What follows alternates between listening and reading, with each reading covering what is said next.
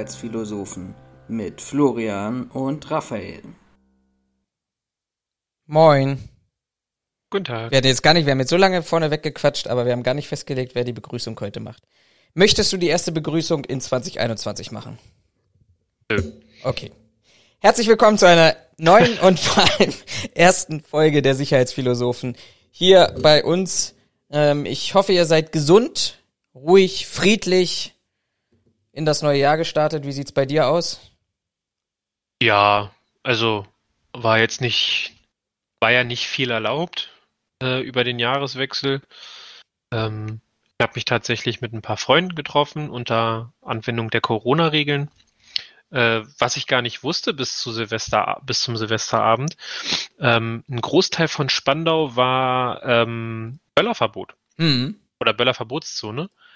Äh, hatte ich gar nicht mitbekommen. Ich war auch tatsächlich echt überrascht. Also ich konnte mir nicht, nicht herleiten, warum, wobei ich ja jetzt auch noch nicht so lange hier in Spandau lebe. Ähm, und was ich ganz interessant war, hatte mir mich ein, ein Kumpel drüber aufgeklärt, als wir zu, zu meinem Bekannten gefahren sind ähm, und ausgestiegen sind, stand ein Helikopter am Himmel. Ähm, ich dachte mir schon so, hä, die fliegen in der Nacht doch in der Regel gar nicht. Äh, hier und da wurde so ein bisschen geböllert. Und dann sagte mir ein Kollege, nee, nee, ähm, die setzen dieses Jahr wohl Heli Polizeihelikopter ein, um äh, nachzuvollziehen, wo teilweise Raketen aufsteigen und Funkstreifen ähm, gezielt dahin zu schicken. Innerhalb dieser Verbotszone. Äh, gehe jetzt mal grundsätzlich davon aus, dass das kein Schwachsinn ist, sondern dass es, dass es ähm, der Wahrheit entspricht, weil der da sehr informiert ist.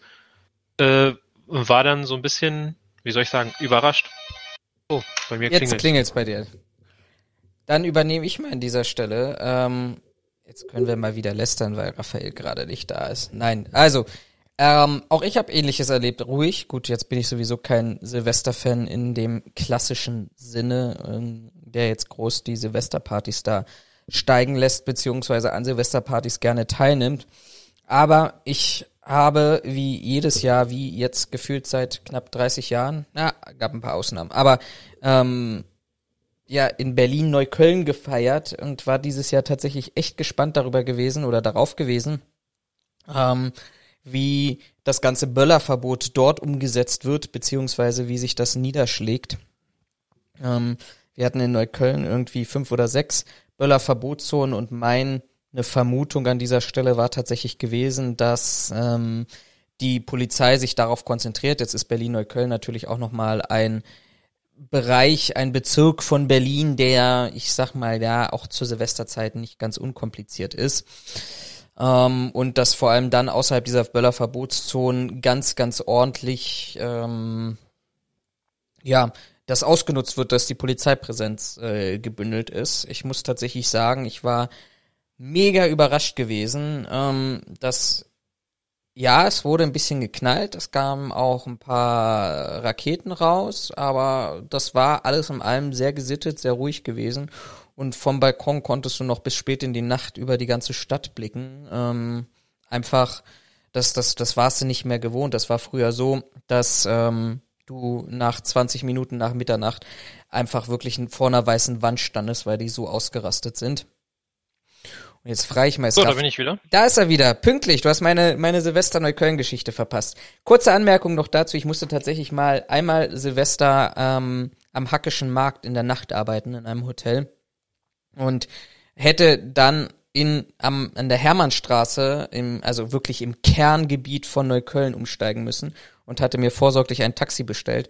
Und ich war noch nie so schnell, also auch mit Auto, noch nie so schnell von meinem damaligen Wohnort im Süden von Neukölln bis zum Hackischen Markt gewesen, weil er praktisch den ganzen Bukower Damm und dann hinten das Stück Sonnenallee und raus über Cottbusser Tor einfach durchgerast ist. Es war ihm so scheißegal, ob das eine rote Ampel war oder nicht, weil wir wirklich wie gefühlt in Kabul von allen Seiten beschossen wurden.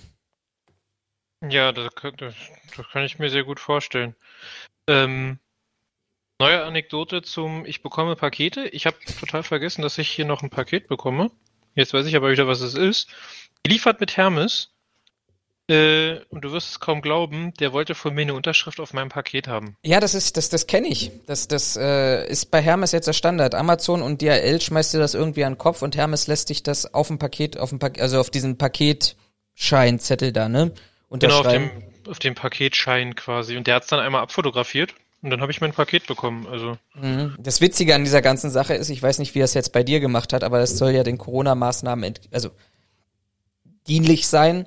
Ähm, witzigerweise gibt er dir dann den Kugelschreiber, mit dem wahrscheinlich 500 andere Leute vorneweg schon unterschrieben haben. Also das Prinzip, Konzept Corona-Verordnung umsetzen. Nice try, Digga, aber nicht ganz nicht ganz bis zu Ende. Naja. Gut. Ich will eine ganz kurze, ganz zu Anfang, sonst vergesse ich das wieder. Ich möchte eine Buchempfehlung abgeben. Äh, wie gesagt, auch nicht dafür gezahlt, aber ich habe da das schon mal auf Facebook und ich glaube auch auf Twitter gepostet. Ich habe äh, mich jetzt mal in unseren freien Tagen mit dem Buch von Thomas Heise und Klaas Mey Meyerheuer, also den beiden Spiegel-TV-Journalisten, die die man generell irgendwie im Landgericht Berlin, im Kriminalgericht Moabit sieht, die dann äh, den Clans hinterherlaufen und sagen, Herr Abu Chaka, Herr Abu Chaka, bitte ein Interview.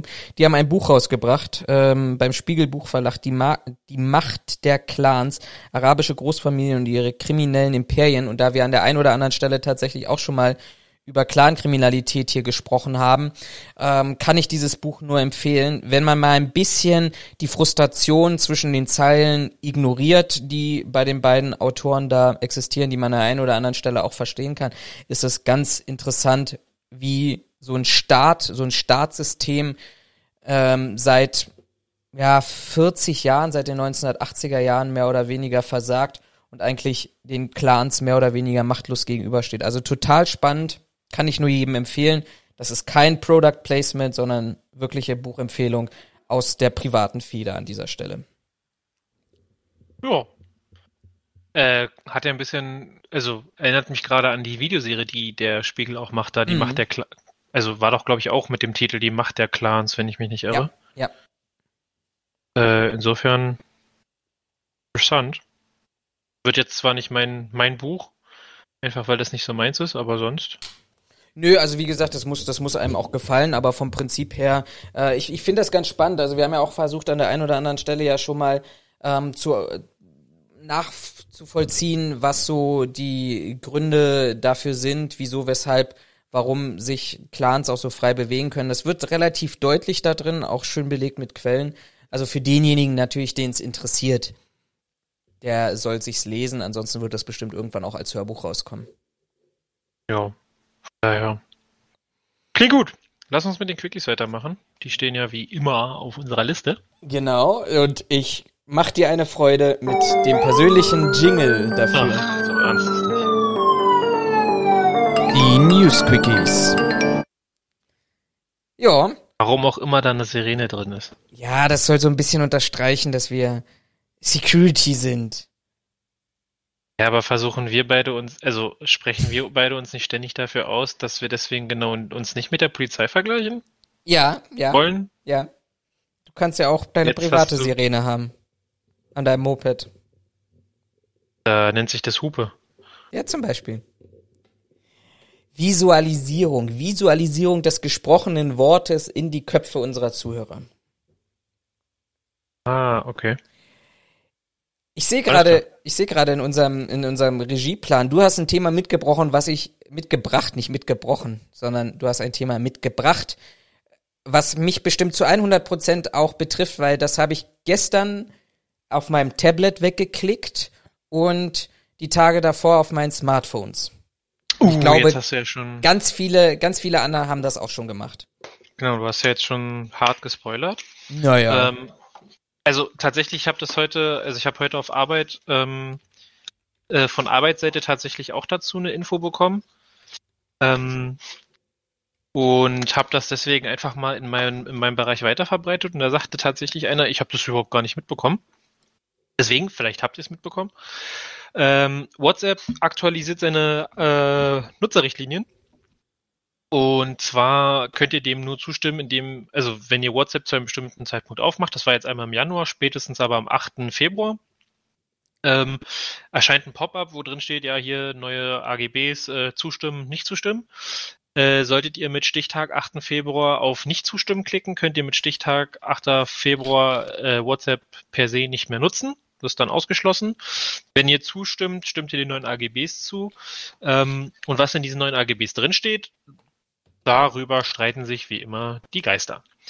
Ähm, Erhelle Anfang, uns.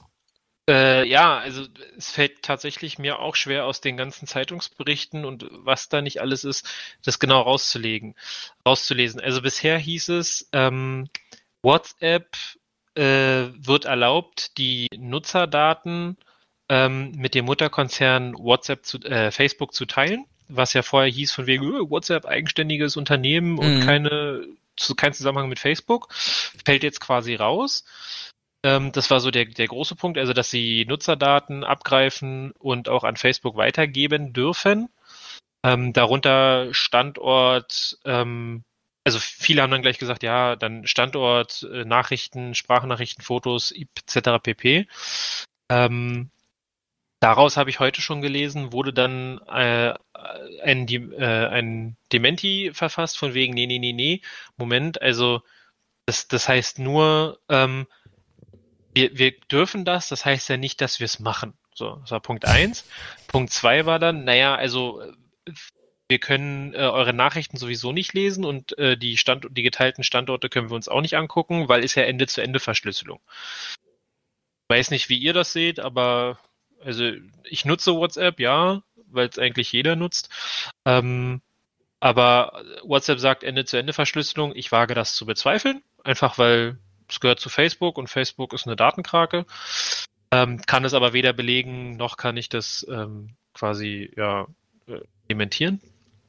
Ähm, daraus wurde dann die Nachricht, äh, ja, nee, Moment, also klar, wir dürfen, was Nutzerdaten angeht, dürfen wir jetzt die ähm, Nutzerdaten ähm, weitergeben an Facebook, aber es geht nur darum, äh, um Nutzerdaten, die Unternehmen quasi ähm, mit ihren Kunden nutzen, ähm, um quasi die ja, die Customer Experience noch ein bisschen zu erweitern. Also auch dann nur, wenn es Facebook gehostete Services sind.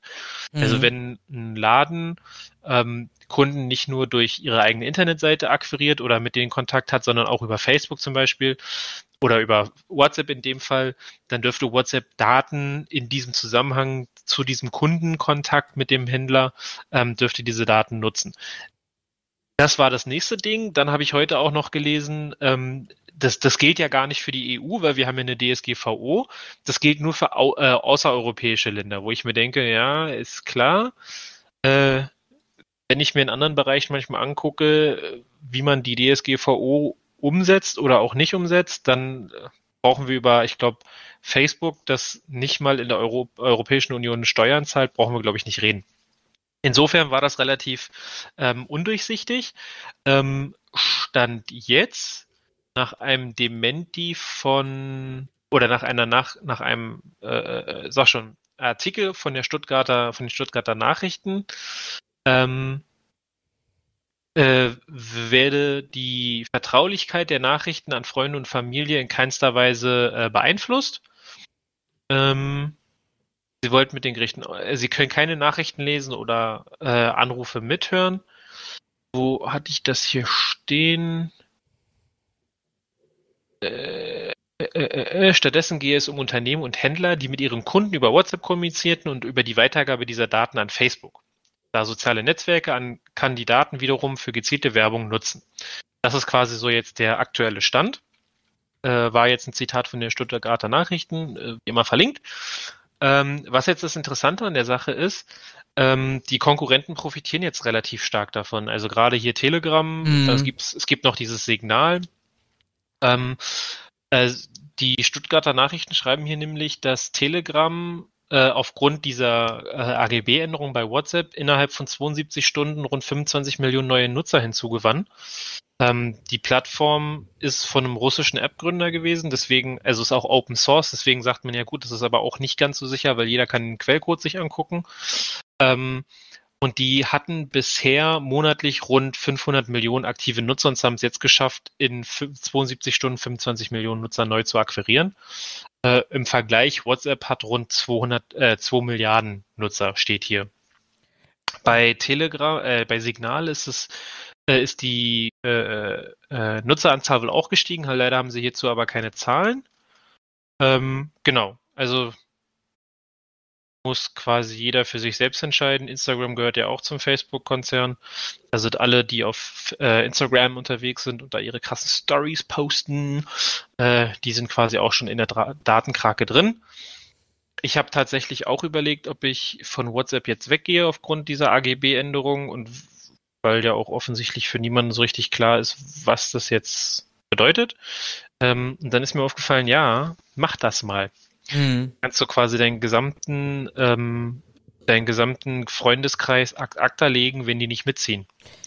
Erstens das und zweitens, das habe ich ähm, in einer, irgendeiner Doku, die ich gar nicht jetzt mal definieren kann, vor ein paar Wochen gesehen.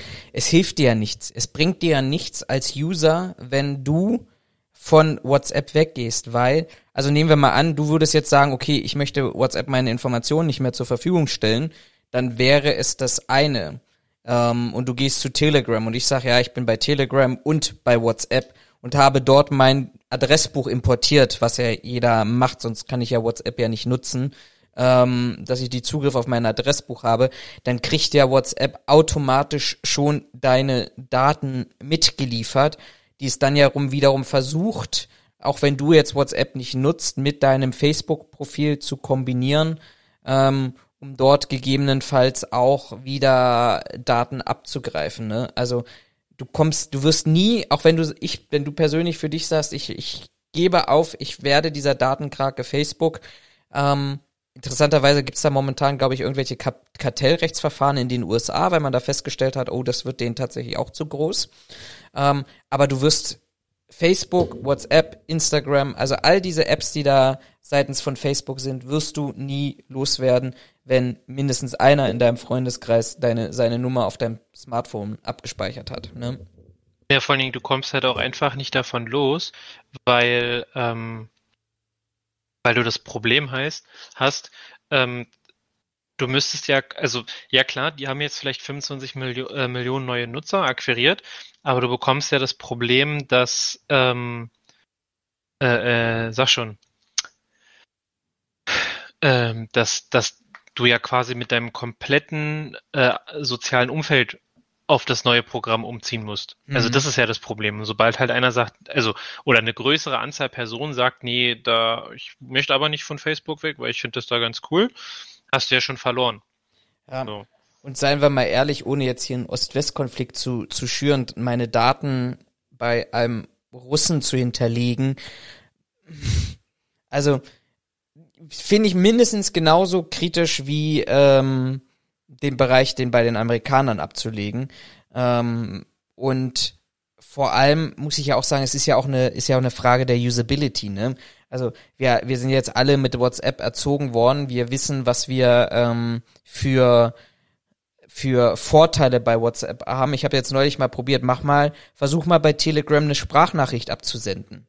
Das kannst du nicht.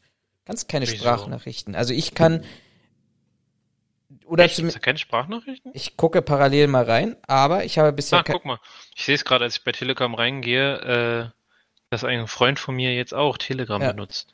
Also ich weiß nicht, ob du das über Datei oder ähnliches machen kannst. Nee, da kannst du nur Dateien senden. Wo also, ist denn hier der Florian? Du kannst keine, auf der einen Seite keine Sprachnachrichten. Und, was auch das Geile ist, ähm, das zweite ist, ich finde Telegram unglaublich unzuverlässig. Ähm, weil das haben wir jetzt gerade gesehen, wir kommunizieren ja jetzt auch in einer, in einer privaten Gruppe zusammen, also wir beide plus ein paar Freunde ähm, über Telegram. Ich merke total oft, sobald sich das System äh, aktualisiert, beziehungsweise ein Update gefahren hat, da musst du danach aktiv in das System reingehen. Nicht alle Nachrichten werden immer durchgestellt, das dauert manchmal Ewigkeiten. Ich finde die Usability einfach äh, schwierig und parallel test, dazu test. Und parallel okay, dazu, ähm, There you have it. I have it. Wie hast du das geschafft? Lesen, verstehen, anwenden. Okay. Äh, Nur was für, für, für junge Menschen, nicht so für was, alte Menschen. Genau, ja, ja, Digital Natives. Ähm, und dann ist ja noch ein zweites Problem, ich muss ganz ehrlich sagen, also wenn du das so hörst, was, wer sich da gerade so auf Telegram und welchen Gruppen darum treibt, ähm, weiß ich nicht, ob ich auch noch mal in so eine ja, so im Kontext in so eine Lage gebracht werden möchte und mich dort auch bewegen möchte. Vielleicht sollten wir es einfach so machen, wie der Michael Wendler jetzt, ähm, ja, mal bringt er jetzt seinen eigenen, er hat zu Anfang Nachrichtendienst genannt, raus, ähm, hat sich dann jetzt entschieden, sein eigenes Programm rauszubringen. Ähm, sollen wir mal, gucken wir mal, schauen wir mal. Vielleicht sollten wir auch was eigenes entwickeln. Ähm, das witzigerweise der, wie heißt er denn? Ähm, der Oliver Porrer macht das auch, ne? Der hat auch so, also ich sehe das ab und zu auf Facebook, der macht auch ständig irgendwie so eine Nachrichten. Ähm, Bildschirmkontrolle, Videos. ja, sehr geil. Sehr geil. Ja, ich bin tatsächlich nicht so der Freund von, von Oliver Pocher. Ja, ähm, schwierig. Ich finde die, ich finde die Nachweisbarkeit seiner, seiner, ähm, seiner Aussagen da stellenweise auch schwierig ähm, auch die Nachvollziehbarkeit, also sich irgendwie in Gegenformat zum Wendler hinzustellen und den Wendler ständig irgendwie als das übel, die übelste Scheiße vom Dienst zu, be, äh, zu beleidigen. Ja, kann man rechtlich vielleicht machen.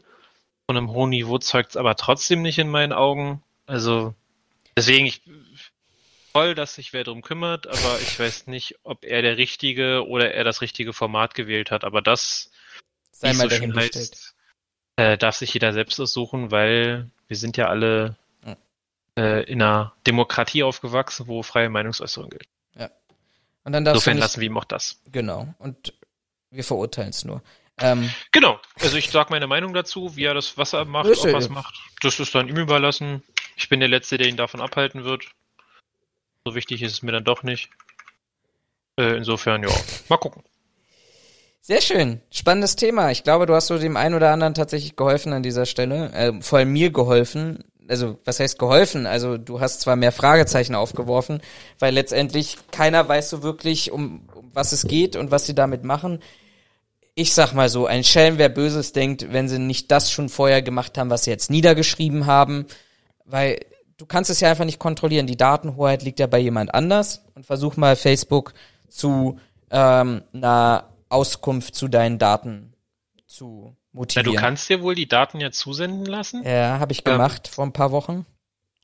Äh, auch von Facebook? Ja, ich habe es bei Facebook gemacht, kurz bevor ich meine Facebook-Gruppe lahmgelegt habe, habe ich von Facebook abgefordert, sämtliche Daten, die sie praktisch in diesem Kontext mit meiner ähm, mit meiner Gruppe gespeichert haben, abzufragen, ist mau ist mau. Also okay. das einzig Interessante, was ist, ich hätte mir nicht den Aufwand machen müssen, alle Nachrichten zusammenzuschreiben und dann in ein Buch zu packen, sondern ich hätte einfach meinen Facebook-Account. Das ist sehr, das haben sie sehr schön aufbereitet. Ja, alle deine, deine, deine Postings, seitdem du diese Gruppe eröffnet hast, das waren ja dann drei Jahre gewesen, ähm, schön chronologisch aufzulisten und was du dazu geschrieben hast und ähnliches. Das fand ich schön. Das sind auch, wenn du es ausdrucken würdest, irgendwie knapp 800 Seiten, glaube ich.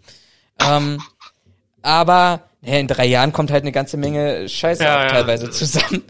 Also das hättest du ausdrucken können und als Buch binden können, so wie es Jan Böhmermann gemacht hat mit seinem äh, Twitter-Buch. Aber unabhängig davon, du kriegst halt so wenig wie möglich, kriegst ganz, ganz wenige Informationen. Also und das, das ist halt rudimentär, weil verklag mal Twitter aufgrund der Datenschutzgrundverordnung in den USA. Da siehst du, glaube ich, relativ mau aus.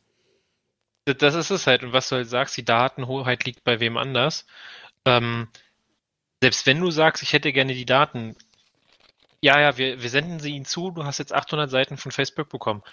Okay, und wo ist die Sicherheit, dass das wirklich alle Daten genau. zu dir sind? Also vor allen Dingen, sie schicken dir ja quasi nur die Postings, ähm, oder die, die Daten darüber, welche Postings du gemacht hast. Was Facebook dir offensichtlich ja nicht schickt, ist, welche Seiten klickst du an? Auf welchen Seiten warst du? Auf welche mhm. Werbung wurde dir angezeigt? Warum wurde dir die Werbung angezeigt? Wie haben sie die Daten verarbeitet? Und das ist ja jetzt eigentlich der erst interessante Teil. Ja. So auch die Frage, hast du Spiele auf Facebook gespielt? Warum hast du, also was ist daraus generiert worden? Welche Daten haben sie daraus gezogen, dass sie dir bestimmte Werbung anzeigen? Mhm. Hast du von Facebook aus auf irgendwelche Links geklickt, die dir innerhalb der Werbung angezeigt wurden? Was wurde daraus generiert? Das ist ja eigentlich, also diese Metadaten im Endeffekt, das ist ja eigentlich erst das Interessante, nicht welche Postings ich geschrieben habe. Das kann ich mir in der Timeline selber angucken. Ja. Und da, in meinen Augen zumindest, siehst du ja schon, selbst wenn du die Daten abfragst, kriegst du ja nicht mal alles. Ja, ja, ja, so. gebe ich dir recht. Insofern, du aber kriegst gut. aber interessanterweise, weil ich das am selben Abend selber gemacht habe, du kriegst tatsächlich bei Facebook, würde ich jetzt aus dem Bauchgefühl, ich habe es natürlich nicht verglichen, weil so viel Langeweile habe ich dann auch nicht, aber allein vom Bauchgefühl, du kriegst bei Twitter, ich habe es am selben Abend bei Twitter angefragt, das sind ja alles so Online-Tools, die du da ähm, ab, abfragen kannst, bedienen kannst, das haben sie alles schon vorbereitet. Twitter hat mir deutlich, deutlich weniger Informationen gegeben und auch, und dann geht's ja wieder weiter, es ist ja nirgendwo so wirklich festgelegt, in welcher Form diese Informationen aufbereitet werden müssen naja. und ähnliches. Also da muss ich schon sagen, da war Facebook schon ein Stück weiter, aber vom Gefühl her ähm, nicht wirklich, wirklich, wirklich sonderlich weit. Okay, ja, spannendes Thema. Also vielen Dank an dieser Stelle. Ähm, hat glaube ich, so den einen oder anderen nochmal dazu gebracht, zumindestens nochmal vielleicht auch online sich damit zu beschäftigen, was für Themen er oder was er da eigentlich zugestimmt hat. Ähm, auch ich werde es mir dann im Nachhinein nochmal angucken. Ich habe heute tatsächlich Themen mitgebracht, die sich nur aus dem wirtschaftlichen Bereich bewegen, also zumindestens bei den Quickies. Ähm, ich würde das mal ganz kurz anreißen. Ähm, dann deine Meinung. Ich würde wahrscheinlich sogar zwei, na nee, wir fangen mit dem ersten Thema an. Also, ihr habt das vielleicht mitbekommen. Ähm, in Hessen wird seit Montag gestreikt, also zumindestens ähm, gab es die Streikankündigung seitens Verdi, ähm, die jetzt auch offensichtlich ausgeweitet ist. Ähm, Verdi bezeichnet das selber online als einem gelungenen Streikauftakt am Montag, äh, in dessen Woche sich jetzt also bis heute, wir nehmen heute, muss man auch vielleicht dazu sagen, heute ist Mittwoch, der 13.1., ähm, weitere Unternehmen sich daran beteiligen. Also zum Beispiel die Revierfahrer seit Mitternacht bei äh, Prodiek, das ist ein Unternehmen der Kieler Wach- und Schließgesellschaft oder der Kieler Wach- und Schließgesellschaftsgruppe in Ostwestfalen. Ähm, aber auch in anderen Bereichen wird ähm, zum Beispiel bei IKEA, Flüchtlingsunterkunft, Interventionsstelle, Universität Paderborn, wird heute bestreikt. Finde ich aus der Sicht heraus total spannend, weil das war ja immer so dieser Vorwurf und vielleicht erinnert ihr euch an dieser Stelle, ansonsten könnt ihr es hier auch nochmal nachhören ähm, aus dem Gespräch, aus dem Sommergespräch mit Verdi, ähm, war das ja immer so dieser Vorwurf an Verdi gewesen, naja, Verdi versucht es ja nicht wirklich, sich in der Branche zu organisieren oder die Branche an sich zu organisieren. Jetzt kannst du sagen, ist das ein Vorwurf von Verdi oder ist das ein Vorwurf gegenüber den Mitarbeitern, die dort sitzen und ähm, sich nicht organisieren. Aber jedenfalls haben sie es in Nordrhein-Westfalen geschafft und ganz frisch muss man dazu sagen, auch Hessen wird anfangen ab morgen zu streiken, zwar in einem sehr begrenzten Umfang. Ich gucke mal, ob ich das gerade wieder finde. Genau, also die Visag Verkehrsservice, den Fahrausweisprüfdienst der VGF Frankfurt und die Visag Sicherheit und Service Hessen, Service Hessen sind aufgerufen zum Streiken ab morgen ähm, vom 14.01.22 Uhr bis 16.01. 1 Uhr. Finde ich ganz interessant. Verdi begründet zumindestens im Bereich Nordrhein-Westfalen das damit, dass äh, sich der Arbeitgeber, der Bundesverband, zu stark auf die Auswirkungen der Corona-Krise ähm, beruft ähm, und somit tatsächlich keine wirkliche Lohnerhöhung ja, anbietet. Also man bietet irgendwie was an, so 1,6 Prozent für 2021, danach nochmal äh, 2,6 Prozent für 2022. Verdi fordert ähm, 1 Euro pro Stunde mehr, aber mindestens 6 Prozent. Ähm, und interessant fand ich einfach auch dieser, dieser Aussage mal wieder von ähm, vom BDSW, die ich einfach nur lächerlich in der Begründung finde, käme es zu Preiserhöhung als Folge der Lohnerhöhung, so könnten Firmenkunden das nicht nachvollziehen. Ja, aber wenn der Tarifvertrag allgemeinverbindlich erklärt wird, dann ist das erstmal irrelevant, ob Firmenkunden sich das, ob Firmenkunden das nachvollziehen können. Sie haben ja dann keine Alternative. Also wenn Sie der Meinung sind, Sie benötigen Sicherheit an diesem Standort, dann werden sie Sicherheit benötigen. Und wenn wir das einfach nur nochmal hochrechnen, 130.000 offene Stunden mal vielleicht, ich sag mal, 170 in Stunden im Monat, dann leisten doch bundesweit die Sicherheitskräfte doch sowieso schon Überstunden im Bereich von 2,2 Millionen Stunden pro Monat, 2,1, 2,2 Millionen Stunden pro Monat. Ähm, da ist auch der mögliche, also wenn ich da eine Lohnsteigerung habe, wir sind ja hier nicht wie beispielsweise im, in der Marketingbude oder in der IT-Entwicklungsbude oder ähnliches, sondern jeder Sicherheitsmitarbeiter erwirtschaftet ja den eigenen Lohn auch wieder beim Kunden. Ähm, mhm. Die Sicherheitskräfte waren jetzt auch aufgrund der Corona-Situation auch erheblich, glaube ich, würde ich jetzt einfach mal sagen, einem Risiko ausgesetzt gewesen, weil es eben diejenigen waren, einen von den systemrelevanten Berufen, die trotzdem arbeiten mussten. Ähm, sie waren sicherlich auch an der einen oder anderen Stelle auch Gewalt oder Angriffen, verbalen Angriffen ausgesetzt, was die Thematik Corona-Leugner beispielsweise angeht. Und das nicht zu honorieren, sondern da wieder zu sagen, wir, wir bleiben da im unteren einstelligen Prozentbereich in der Lohnerhöhung, finde ich schwierig und diese ganze wirtschaftliche Ausrichtung in Richtung Profitmaximierung habe ich ja am Montag schon dargestellt mit dem Sicherheitsdienstleistungsgesetz. Ich finde, das ist momentan eine Ausrichtung vom BDSW, die ja auch der Branche langfristig schaden wird, weil Attraktivität im Niedriglohnsektor kommt meines Erachtens auch daher, dass ich vernünftige Löhne zahle und wenn ich da wieder keine Lohnsteigerung habe, dann werde ich das Problem 130.000 offene Stellen zu besetzen auch langfristig nicht lösen können. Ich weiß es nicht, ob du ob du die Arbeitgeber, die Auftragsgeber oder die Kundenperspektive einnehmen möchtest und mir widersprechen oder ergänzen möchtest. Ähm, aber vielleicht siehst du es ja auch komplett anders. Ähm, nee, will ich also will ich in dem Fall nicht, weil ich aber auch zugeben muss, dass dieses ganze Thema mit, dass jetzt Streiks aktuell sind, komplett an mir vorbeigegangen ist. Ähm, und ich einfach so uninformiert da bin, darüber bin, außer jetzt deinen eben geführten Monolog, dass ich mir da ehrlicherweise jetzt nicht herausnehmen will zu sagen, ja, aber warte mal, also wie folgt. Weil ich glaube, da kann ich jetzt keine, keine vernünftige Meinung mit abbilden. Mhm. Na, aber meine Informationen ja, zu schwach sind. Aber dann, dann, dann könnten wir es ja mal grundsätzlich fragen. Also natürlich, also natürlich sind wir in einer Situation, unsere Kunden im, zum Großteil, und ich glaube in der zweiten Welle war es nochmal anders, als wir es in der ersten Runde gehabt haben, wo wir ja wirklich Umsatz plus gemacht haben. Ähm, jetzt hat sich das ja alles akklimatisiert. Ich glaube, wir haben auch oft genug darüber gesprochen, dass die Sicherheitsbranche unterschiedliche Chancen verpasst hat, also beispielsweise auch die Technik selber an den Kunden zu bringen und das nicht die Technikfirmen machen, also Zutrittskontrolle beziehungsweise People Counter etc. Aber das ist natürlich jetzt eine Situation, die man in allen Branchen vielleicht außerhalb der Pflege oder medizinischen Bereich an sich diskutieren könnte. Sollen jetzt die Mitarbeiter einen Beitrag dazu leisten, dass es den Unternehmen besser geht, langfristig wieder gut geht, also auf eine Nullrunde, also eine Nullrunde anstreben und Gehaltserhöhung verzichten? Oder bist du der Meinung, dass ähm, trotz oder gerade erst recht aufgrund der La Situation wir ähm, nicht den Menschen, der ja auch gelitten hat durch die Corona-Situation und durch Kurzarbeit vielleicht oder ähnliches, ähm, ja, belohnen müsste. Das war mir jetzt zu viel Text. Frag nochmal in kurz. Okay, nochmal in kurz, ähm, in kurz gefragt. äh,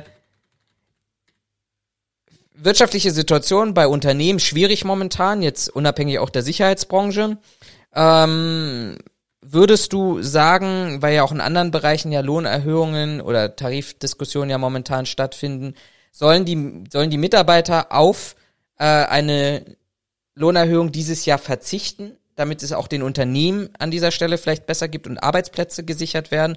Oder sagst du, wir dürfen den Arbeitnehmer, der ja auch schon gelitten hat, nicht ähm, vergessen und von daher müssen wir ähm, auch an, an den Mitarbeiter denken und da können Unternehmen jetzt gerade nicht gerettet werden. Ich hoffe, das war jetzt eindeutiger. Das war eindeutiger. Na, die Frage ist ja jetzt, ähm, also man kann das jetzt aus verschiedenen Richtungen betrachten.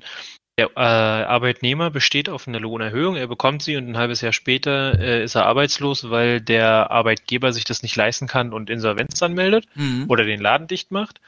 Ähm, umgekehrt könnte man sich jetzt auch, könnte man jetzt auch die das Szenario aufziehen, naja, der Arbeitgeber äh, verzichtet auf mehr Lohn, ähm, das Unternehmen bleibt am Markt, ähm, der bekommt dann das Jahr drauf eine ich bin mir ziemlich sicher, dass wir uns alle einig sind, dass das so nicht laufen wird.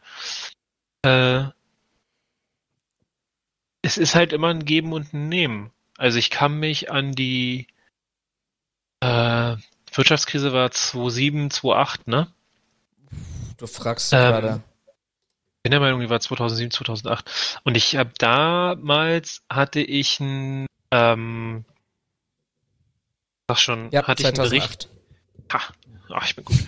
Äh, damals hatte ich einen, hatte ich einen ähm, Bericht gesehen, wo ein Unternehmer, ich, ich weiß leider gar nicht mehr, was es, was, also in welcher Branche der war. Das war aber nicht Sicherheitsbranche. Der hatte ähm, vorher schon, weil er irgendwie aus, aus irgendwelchen anderen Gründen schon mal ein, ähm, ein Finanzdefizit äh, hatte, hat er sich überlegt, wie er sein Unternehmen äh, unabhängig von, von wirtschaftlicher Lage nach Möglichkeit halten kann, ohne, weiß ich nicht, Kurzarbeit anzumelden, was auch immer. Und ist auf die Idee gekommen, seine Mitarbeiter direkt an der Firma zu beteiligen.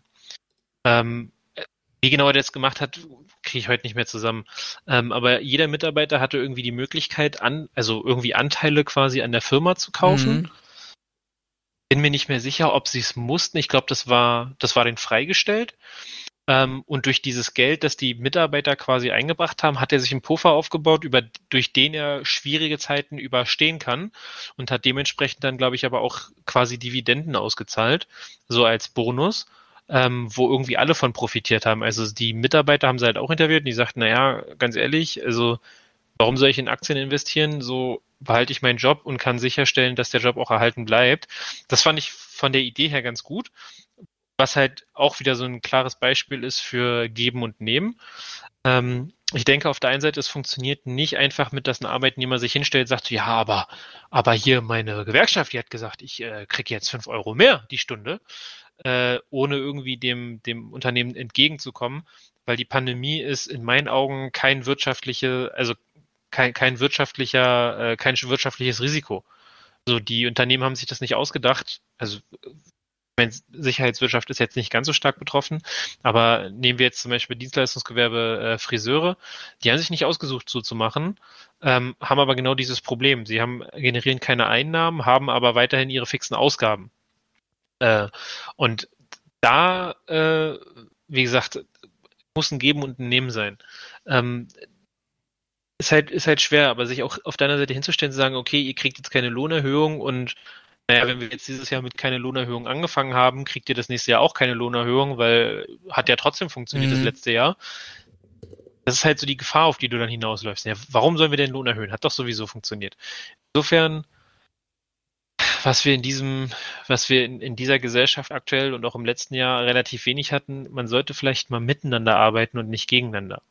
Ich finde gerade, du, du hast mich gerade auf eine Idee gebracht, die ich total Oh. spannend finde, weil letztendlich das passiert ja eigentlich. Also das ist ja wieder ein standardisierter Marktmechanismus Arbeitnehmerbeteiligung. Also ähm, ich denke mal, da verraten wir auch gar kein Geheimnis. Also meine Arbeitnehmerbeteiligung von Zalando habe ich immer noch und die entwickelt sich ausgezeichnet, muss ich ja ehrlicherweise Ich habe sagen. meine tatsächlich damals verkauft.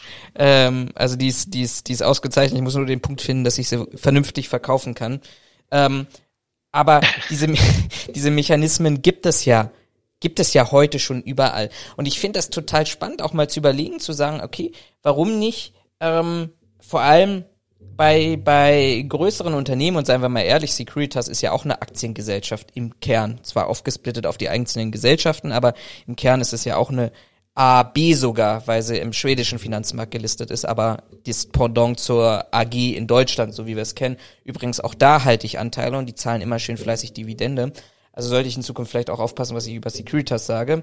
Nein, also unabhängig davon, ähm, ich finde diese Arbeitnehmerbeteiligung, vielleicht ist das auch so ein Konstrukt, wo wir einfach so klassische Marktmechanismen einfach viel stärker auch in der Sicherheitsbranche etablieren müssen, weil wenn ich jetzt auch mal so ein bisschen zurückdenke oder bei mir jetzt momentan sehe, ähm, in meiner Firma, ähm, dass es, wie, wie sehr sich auch, auch vielleicht an der einen oder anderen Stelle Arbeitgeber und Betriebsrat auch bekämpfen und wenn da noch eine Gewerkschaft dazu kommt, wo wir bei der Bahn noch eine sehr, sehr deutlich stärkere Gewerkschaft haben mit der EVG und mit der GDL, ähm, dann ist das so eine schwierige Situation und da ist es auch vielleicht für den einen oder anderen einfacher, mehr zu meckern als zu machen.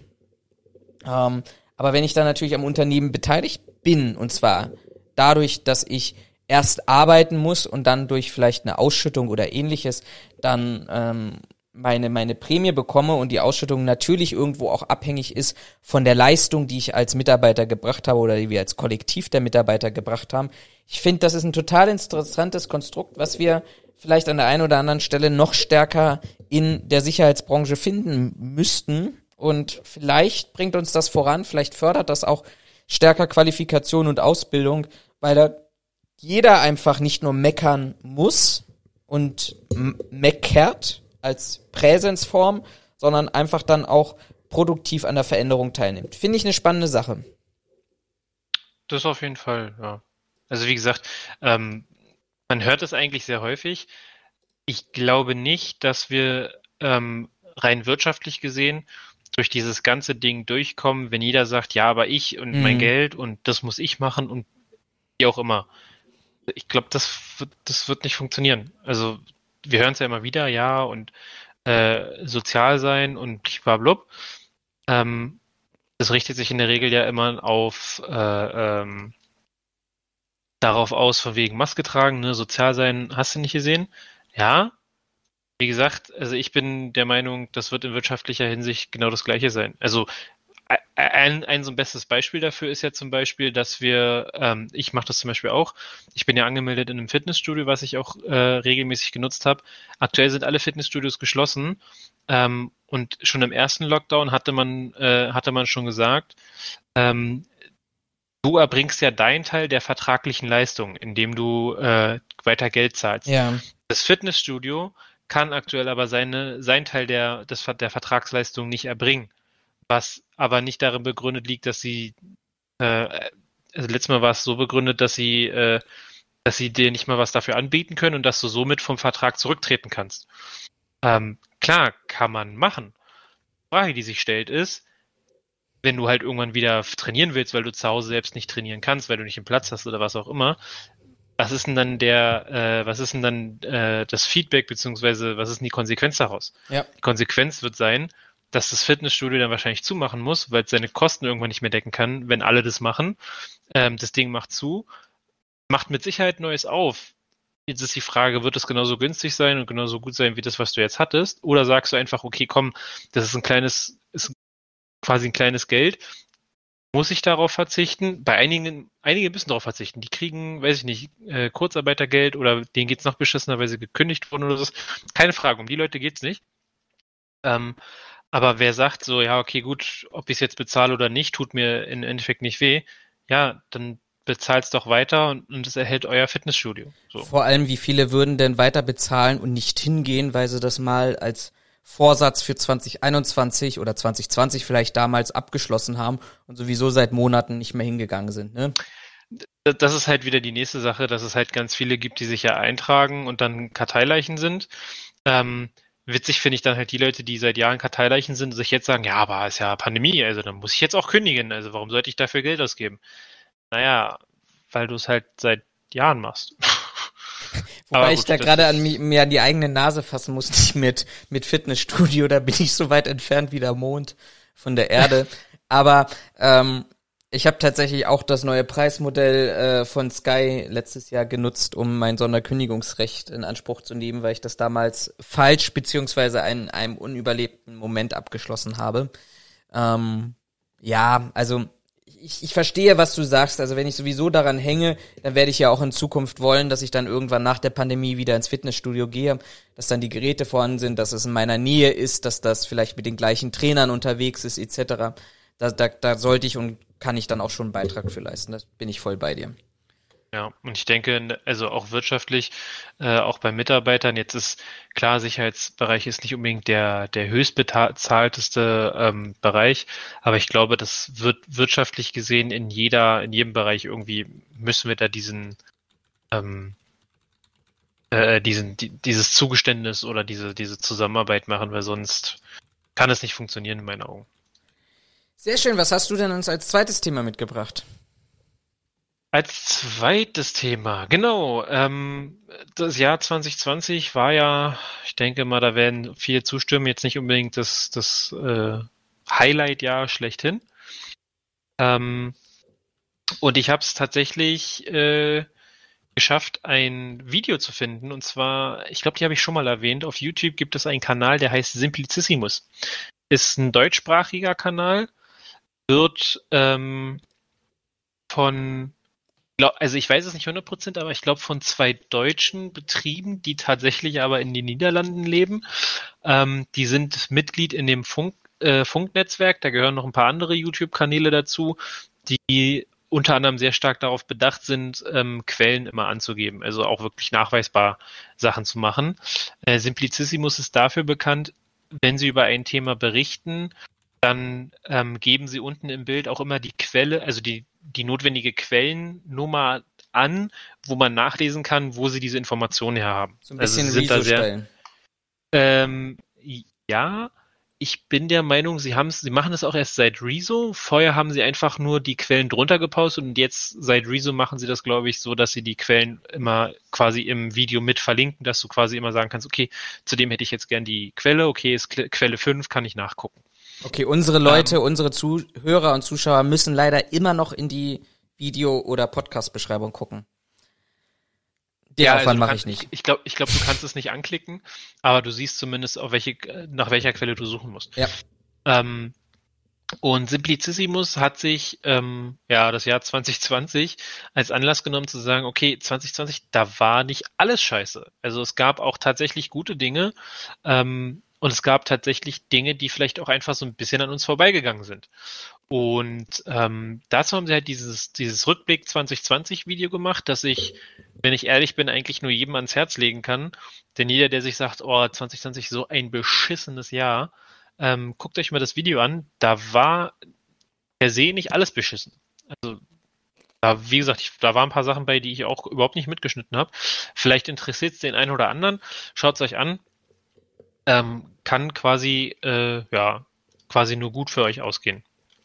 Ich muss ja persönlich auch an dieser Stelle sagen, ähm, ich weiß es nicht, glaube ich nicht, dass ich das im Jahresrückblick erwähnt habe. Nee, ich habe danach meine Weihnachtsmails erst geschickt.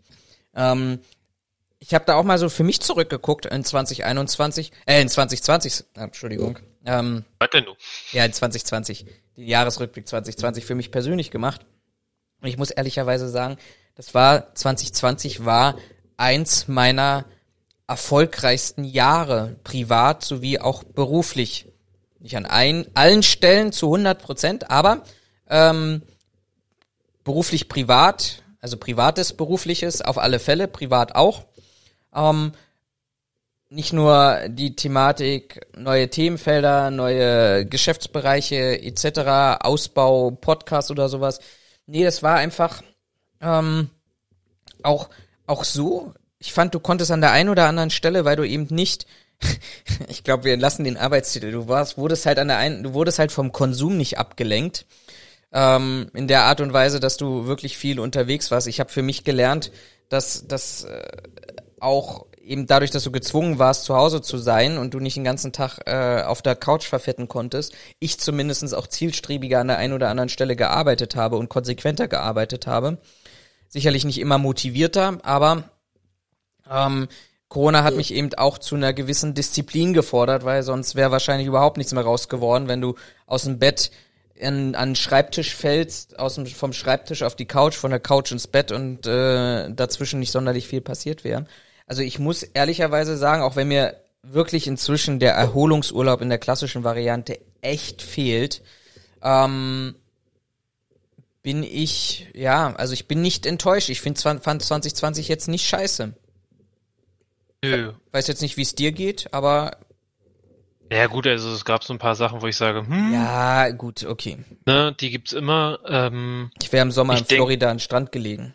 Ich, ähm, ich denke, dass das 2020 halt besonders dadurch geprägt ist, einfach, dass, ähm, äh, dass halt Corona so, so über allem schwebte.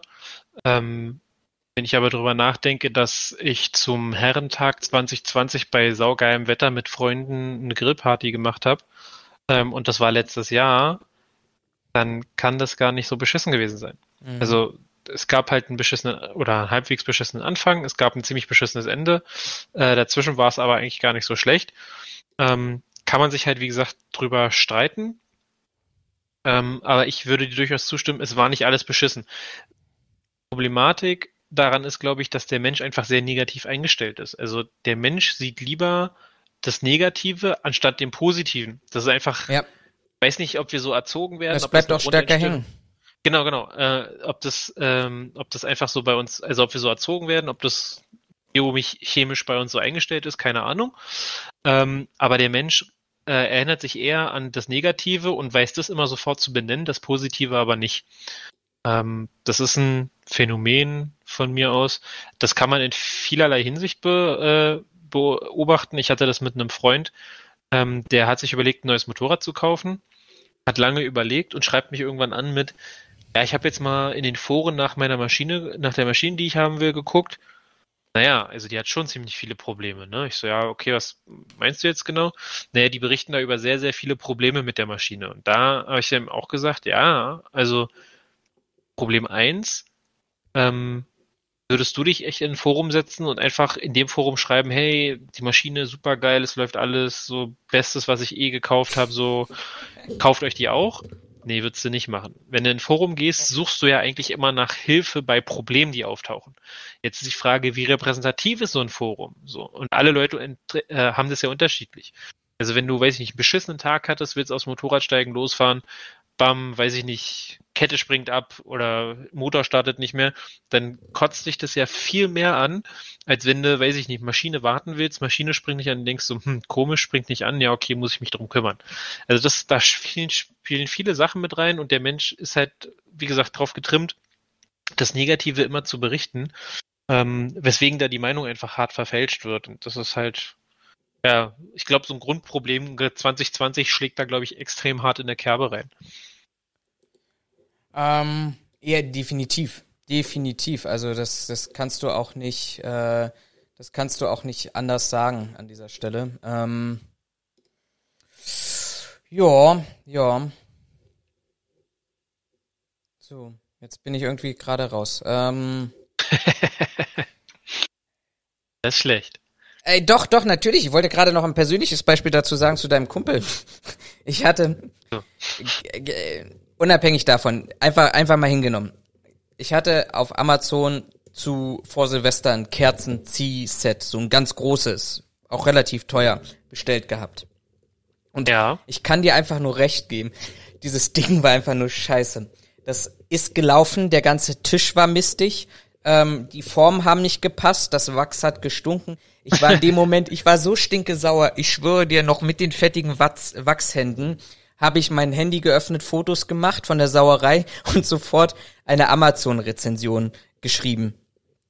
Ja, Ähm, genau. das, das, das, das bestätigt ja nur letztendlich das. Andere Versuche, also ich bin, ich bin tatsächlich sehr überrascht. Ähm, ich war in den letzten Monaten doch öfters auf Amazon, deshalb passt so Konsumkritik nicht ganz.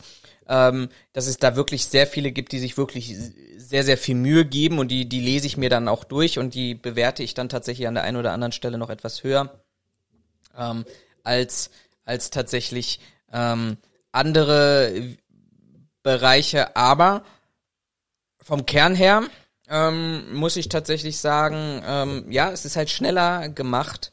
Äh, ich weiß jetzt nicht, wie viel 100 Produkte bei Amazon ich letztes Jahr bestellt habe. Zu denen, die mir gefallen, habe ich keine positive Rezension geschrieben. So, sondern nur dann, wenn ich es wirklich gedacht habe, okay, dieses Produkt ist echt mega scheiße oder es hat mich gerade so verärgert. Ähm, vielleicht, weil ich auch meine eigene Dummheit gescheitert bin. Ich ähm, schreib mal hier eine negative Bewertung. Das einfach nur noch mal dazu. Tatsächlich, ähm, ich mache es nicht regelmäßig, aber hin und wieder setze ich mich hin und äh, schreibe auch positive oder ähm, auch im Endeffekt eine Rezession zu Produkten mit dem Hintergrund, macht keinen Sinn, ein Produkt zu kaufen, sich dreimal anzugucken, einmal zu benutzen und eine Rezension zu schreiben, weil du einfach, da hast du halt immer diese Rezension mit, ja, ich schreibe in drei Monaten zu einer Langzeiterfahrung nochmal und um das zu umgehen und nur einmal Arbeit zu haben, ähm, gehe ich manchmal dahin, gucke in meine Bestellung von Amazon. Wie gesagt, ich mache das nicht sehr regelmäßig, aber hin und wieder mache ich das und schreibe dann eine Bewertung zu einem Artikel, den ich vor einiger Zeit gekauft habe, einfach um sagen zu können, okay, ich habe den jetzt eine ganze Weile benutzt und ich habe jetzt einen deutlich besseren Überblick über das ganze Produkt. Ja. So, so mache ich das tatsächlich. Aber ähm, das ist ja auch. Ja, also jeder, der, wie er Bock hat. Genau. Und manche schreiben das, um jemand anders zu ärgern. Aber das ist ein anderes Thema. So. Kurz, ich könnt, kann meine zwei Quickies eigentlich relativ noch die übrig gebliebenen zwei Quickies, den einen schmeiße ich jetzt mal raus, ähm, ganz kurz zusammenfassen ähm, in der Kürze der Würze. Ganz spannende Meldung von gestern Abend, also gestern Abend heißt dann Dienstag, 12. Januar. Ähm, die Schweizer Bundesbahn hat sich entschieden, also oder man das dazu gemacht, wer sich mit dem Schweizer Bewachungsrecht oder Eisenbahnrecht ähm, schon mal beschäftigt hat, der wird feststellen, dass es äh, in der Schweiz tatsächlich ähm, zwei Formen der ba der Bahnsicherheit gibt an dieser Stelle. Es gibt einmal die klassische private Sicherheit und es gibt praktisch die sogenannte Bahnpolizei, die in Teilen so ein bisschen privatisiert ist, was wir in die Richtung von Sicherheitsdienstleistungsgesetz vielleicht an der einen oder anderen Stelle auch versuchen und was wir, glaube ich, auch schon mal andiskutiert haben, ähm, die Thematik äh, Polizei Light zu sein, wobei ich glaube, bei den Schweizern kann man da nicht von Polizei Light sprechen.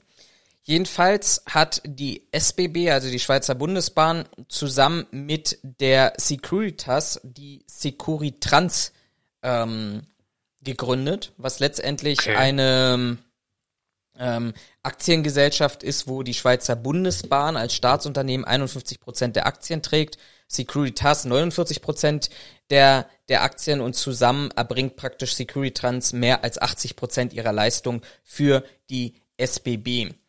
Jetzt hat sich die SBB entschieden, dass sie tatsächlich den Aktienanteil ähm, von Securitas übernimmt. Also es wird dann praktisch ein, in Anführungsstrichen, Staatsunternehmen, ähm, praktisch die Mitarbeiter beziehungsweise die Systeme, Personale, Administrative etc. wird mit in die SBB übernommen, also eine Integration hinein. Was ich total spannend finde, ähm, einfach in diesem Kontext, was wir immer wieder, glaube ich, an dieser Stelle erleben, nämlich diese, diese Wellenbewegung, die wir da irgendwie haben. Also, dass das auch bei den Schweizern passiert. In Deutschland kennen wir diese Situation ja schon auch etwas länger, nämlich diese Wellenbewegung von, okay, weg vom Dienstleister hin zu Inhouse-Lösungen. Wir machen das selber. Ähm, und dann wieder festzustellen, ah, der Aufwand ist relativ hoch und vor allem die Kosten sind langfristig relativ hoch. Ähm, wir gehen wieder von der Inhouse-Lösung zurück zum Outsourcen beziehungsweise zu offensichtlich solchen Joint Ventures oder Aktiengesellschaften oder ähnliches. Hier finde ich total spannend, dass offensichtlich, und das diskutieren wir an der einen oder anderen Stelle ja in Deutschland auch, diese Thematik Subunternehmerleistung, ähm, Outsourcen in jetzt offensichtlich auch bei den Staatsbahnen nicht mehr eine Rolle spielen soll, sondern dass das aus Inhouse-Leistung erbracht wird. Vielleicht, das sagt leider der Artikel nicht, wird an der einen oder anderen Stelle bessere und höhere Qualität erwartet.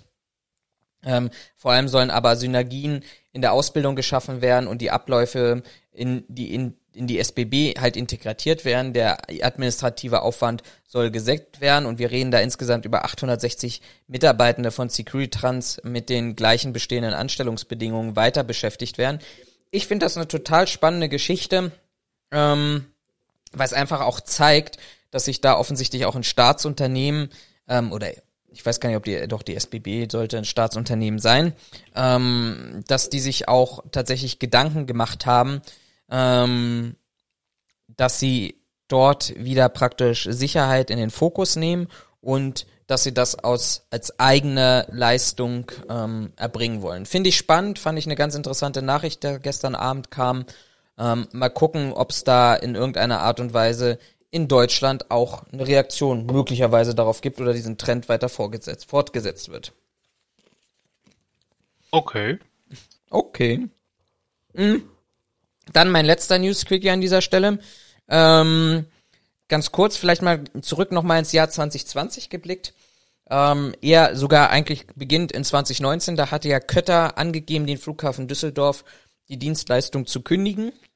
Mhm, da gab es ja mehrere, heute würde man sagen Skandale, weil heutzutage alles Skandal ist, aber sag mal, mehrere Ungereimtheiten. Ja, man hat, ja, genau, und man hat nachher begründet, dass man das ähm, nicht mit der ähm, mit den Preisen erbringen kann, was ich ja auch immer grundsätzlich sehr witzig finde an der einen oder anderen Stelle, dass ich sage, ähm, okay, ich habe mich mal auf einen Preis beworben und auf eine Dienstleistung beworben und nachher ähm, ist es plötzlich nicht mehr wirtschaftlich. Ist es plötzlich nicht mehr wirtschaftlich und ich kündige den, einfach den Vertrag. Genau, genau, den, den, den, ich habe das tatsächlich bisher auch ein einziges Mal gehabt bin bis heute der Meinung, dass der Vertrag nicht gekündigt wurde. Also meine, mein Eindruck ist eher, der Vertrag wurde gekündigt, wenn man mit den, ähm, äh, wie soll ich sagen, mit den Modalitäten oder den Ausführungsmodalitäten einfach nicht zusammengepasst hat. Also man hat einfach was angeboten und der, also in meinen Augen, Qualität war einfach unter aller Sau. Ähm, ist natürlich scheiße, wenn es jemanden gibt, der da mitreden kann und der einem Paroli bietet und nicht immer sagt, ja, danke, Amen, tschüss. Ähm, aber sie selber haben auch angegeben, als ja, das ist unter diesen Umständen einfach nicht mehr wirtschaftlich. Wo ich mir dann sage, ja, gut, fragt sich, worauf hast du angeboten, aber weiter im Text. Ja, ähm, das war ja dann, dann ging's, gab's ja eine, eine Schnellausschreibung, ähm, die ja auch für die ein oder andere Nachfrage gesorgt hat. Und dort hat sich ja eine Piepenbrock-Tochter darauf ähm, beworben, bewor beworben, die DSG, und wollte ja alles anders machen. Also wollte mehr Qualität hinbringen, hat versucht, die Personale zu übernehmen.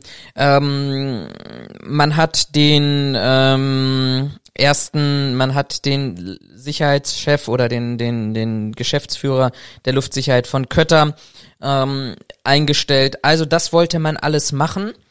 Ähm, alles natürlich auch mit der Fragestellung, du kannst halt am Flughafen echt kaum, kaum bis wenig Geld verdienen letztendlich der Auftraggeber ist eine Behörde, nämlich die Bundespolizei. Ähm, ja. Die, die gucken halt auch aufs Geld, wobei es da natürlich auch immer die Frage gibt, ist, ist, ist der billigste Preis der Grundsatz der Wirtschaftlichkeit im Vergaberecht, ähm, sei mal dorthin gestellt an dieser Stelle. Und dann fingen ja eigentlich die Probleme an, das fand ich ja total ähm, spannend. Also man war ja wirklich angetreten, um wirklich alles, alles, alles, alles besser zu machen. Und dann kam bereits im September die ersten Vorwürfe, nämlich auch seitens wieder der Gewerkschaft Verdi, ähm, die vorwarfen, dass man, äh, dass die DSW staatliche Leistungen ähm, missbraucht hat, nämlich ähm, es wurden aus den Lohnabrechnungen, die in Teilen auch durchs Kurzarbeitergeld ähm, finanziert wurden. Klar, kann man irgendwo verstehen, auch die Flüge, Flughäfen etc. wurden ja reduziert. Ähm, hatte man die Krankentage rausgestrichen, was eigentlich nicht darf, weil Krankentage müssen auch im Rahmen des Kurzarbeitergeldes ähm, tatsächlich auch vom Unternehmen weiter bezahlt werden. Ähm, Arbeitsrechtsexperten sprachen da tatsächlich aufgrund der strukturellen Nichtzahlung ähm, tatsächlich vom vorsätzlichen Handeln. Für mich war an dieser Stelle wirklich interessant gewesen, dass man eben angetreten war, man macht das alles besser, relativ schnell den Zuschlag bekommen hat. Man kann natürlich nur mutmaßen, dass das über einen Preis geht ähm, über einen Kampfpreis, aber sobald es auch hier die ersten Schwierigkeiten gaben, gegeben hat, wurden die vertraglichen Konstrukte ähm, ja, also auch wieder löchrig und beziehungsweise brüchig. Und noch interessanter war jetzt die Meldung, die wir diese Woche gehabt haben, nämlich, dass ähm, die DSW ähm, 40 Mitarbeiter krankheitsbedingt entlassen hat auf einen Schlag, nämlich kurz vor Weihnachten und das soll nicht nur, oder das hat nicht nur an der einen oder anderen Stelle ein Geschmäckle, sondern ähm, es ist auch deshalb arbeitsrechtlich sehr problematisch, weil bei Entlassungen von mehr als 30 Mitarbeitern in 30 Tagen muss auch die Gewerkschaft informiert werden ähm, nee, die Agentur für Arbeit, Entschuldigung, die Agentur für Arbeit, da geht die Gewerkschaft derzeit davon aus, dass dies nicht erfolgte. Der Betriebsrat sei nicht nach den festgelegten Vorgaben informiert worden und man gehe derzeit ganz stark davon aus, dass das eher eine Sparmaßnahme war, weil 40 Mitarbeiter, die ähm, mindestens sechs Wochen pro Jahr krank gewesen sein sollen, ähm, auf einen Schlag zu finden, beziehungsweise ähm, tatsächlich auch zu haben, die man dann rauswirft, ähm, ist zumindestens fraglich. Und ähm, man geht deshalb davon aus, dass das erst recht ein Geschmäckle bekommt, ähm, vor dem Hintergrund, dass natürlich auch die wirtschaftliche Leistungsfähigkeit der DSW am Flughafen Düsseldorf ähm, schwierig ist, gleichzeitig man aber keine Mitarbeiter kündigen darf, weil es eine Betriebsvereinbarung zur Kurzarbeit gibt, die bis März 2021 betriebsbedingte Kündigungen ausschließt und ähm, dass man sich dieses Mittel dann genutzt hat, um eben seine Personal- und Lohnkosten zu reduzieren. Ich finde das echt spannend, vor allem wenn man dann ein bisschen diesen Kontext betrachtet ähm, und diesen Kontext, den wieder immer wieder herzustellen in der Sicherheitsbranche, finde ich, ist ungemein schwer. Und ähm, wenn man das nicht auf dem Schirm hat, was so ein Unternehmen vielleicht auch in den vergangenen Wochen oder Monaten dazu getan hat, dann ähm, ist das jetzt okay, jetzt ist es einmalig, aber im Kontextgesetz finde ich, ist das, ist das immer eine Story, die damit erzählt wird. auch interessant, dass man seine Mitarbeiter entlässt, um am Ende quasi seinen Verlust zu schmälern. Ja, also ich, kann man mal machen. Kann man, kann man machen. Ähm, ist ja, also, weißt du, da sind wir wieder wie bei der Streikdiskussion.